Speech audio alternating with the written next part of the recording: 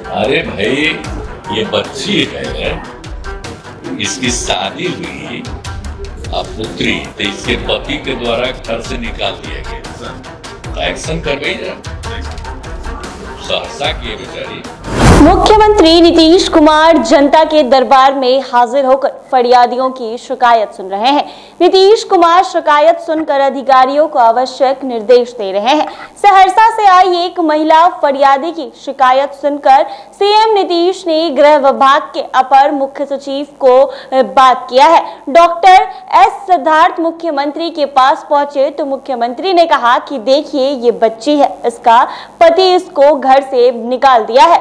इसे एक, इसकी एक बच्ची भी है, इसको दिखवाइए। देखिए कितना कम उम्र है इसका, इसकी मदद करवाइए। मुख्यमंत्री के आदेश पर गृह विभाग ने कहा कि इस मामले को तुरंत से दिखवाते हैं। क्या कुछ कह रहे हैं मुख्यमंत्री जनता के दरबार में? वो जरा सुने आप लोग।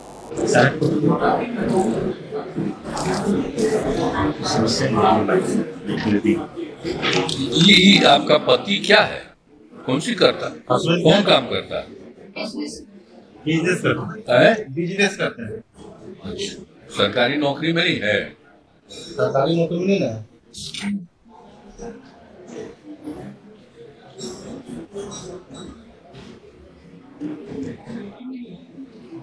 उनको नहीं मंत्री जी को लगाओ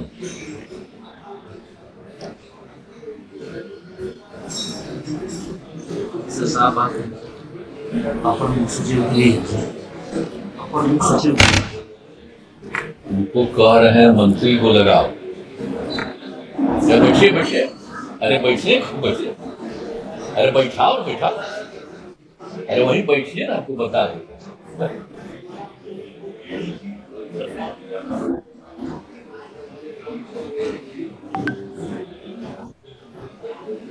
अरे भाई ये बच्ची है इसकी शादी हुई पुत्री तो इसके पति के द्वारा घर से निकाल दिया गया।